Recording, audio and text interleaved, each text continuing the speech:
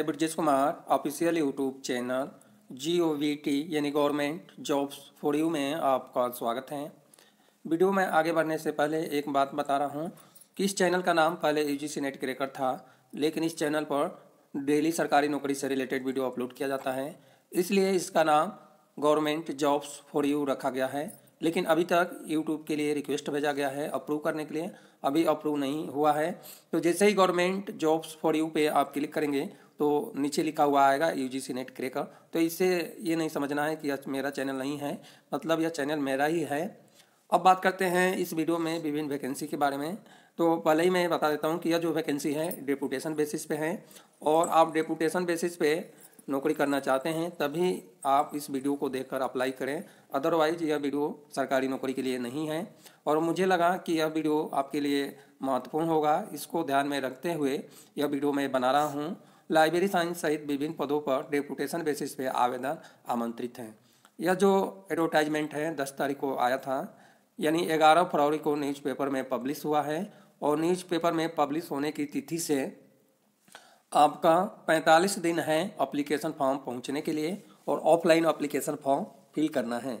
इस चैनल के द्वारा व्हाट्सएप ग्रुप भी बनाया गया है तो आपकी इच्छा हो तो उस ग्रुप से ज्वाइन कर सकते हैं। क्योंकि जो भी वीडियो मैं बनाता हूँ, वो नोटिफिकेशन उस ग्रुप में सेंड कर देता हूँ। साथ ही जो वीडियो मैं नहीं बना पाता टाइम के अभाव में वीडियो नहीं बना पाता हूँ, वो नोटिफिकेशन भी मैं ग्रुप में सेंड कर देता हूँ।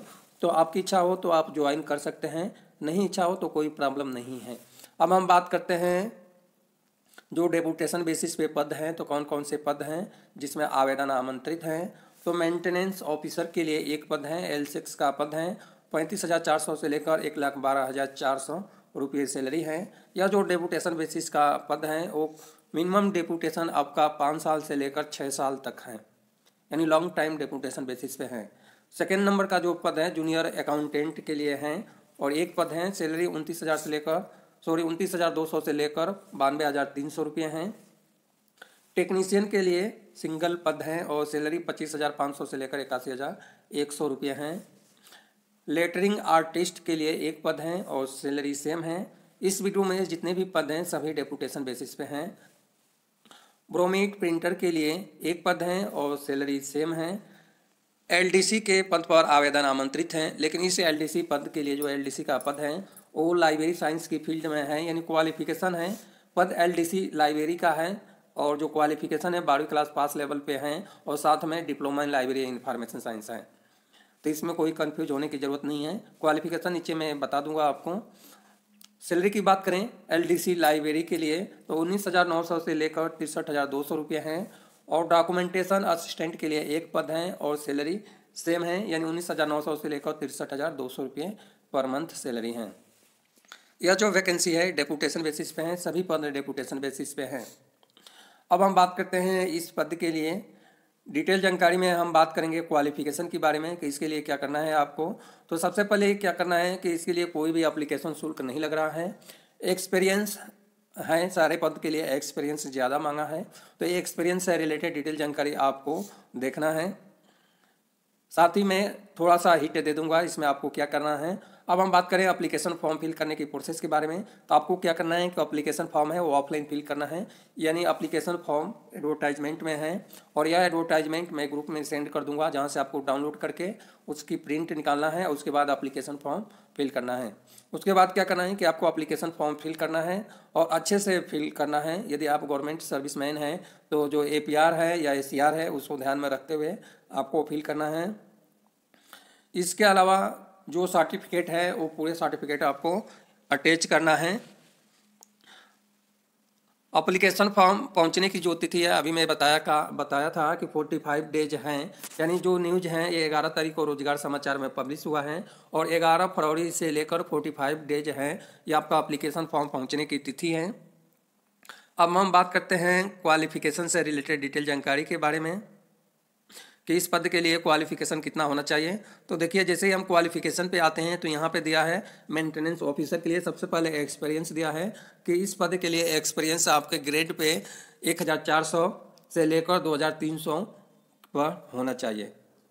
एक ग्रेड पे हैं। इसके साथ में तीन साल का एक्सपीरियंस है। इस पद इस पद के लिए कम से कम तीन साल का एक्सपीरियंस है। जूनियर अकाउंटेंट के लिए क्वालिफिकेशन में बैचलर डिग्री रिकग्नाइज यूनिवर्सिटी है और दो साल का एक्सपीरियंस है। जो एक्सपीरियंस है, आपका 2400 ग्रेड पे पर होना चाहिए या 5200 ग्रेड पे पर होना चाहिए। टेक्नीशियन के लिए भी एक्सपीरियंस सेम है। और क्वालिफिकेशन की बात करें तो दसवीं क्लास पास साइंस सब्जेक्ट से होना चाहिए और तीन साल का एक्सपीरियंस है और ग्रेड पे है वो सेम ग्रेड पे पे एक्सपीरियंस होना चाहिए। लेटर आर्टिस्ट के लिए हम बात करें तो बारहवीं क्लास पास आउट हैं। इसके अलावा सर्टिफिकेट इन कमर्शियल आर्ट हैं और तीन साल का एक्सपीरियंस है संबंधित सब्जेक्ट में।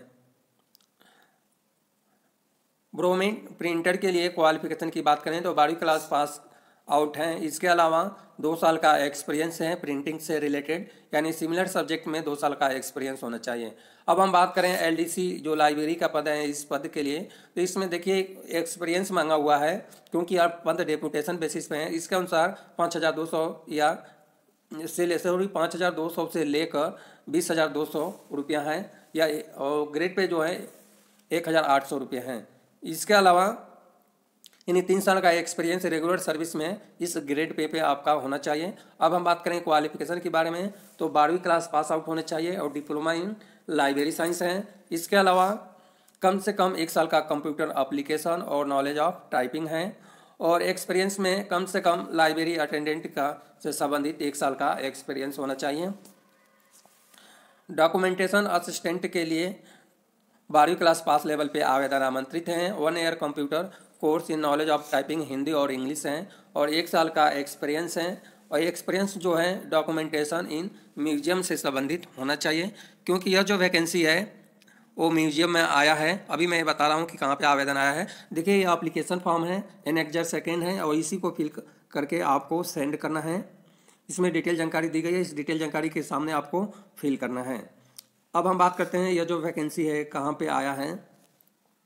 तो नेशनल क्राफ्ट म्यूज़ियम एंड हस्तकला अकादमी में आवेदन आमंत्रित हैं। दस तारीख, यानी दस फरवरी 2023 को यह नोटिफिकेशन आया था और ग्यारह फरवरी 2023 को जो एम्प्लॉयमेंट न्यूज़ आया है, यानी रोज़गार समाचार आया है, उसमें यह वैकेंसी पब्लिश हुआ है और उसी तिथि से 45 डेज़ आपको काउंट करना है। उसके अंदर ही आपका अप्लीकेशन फॉर्म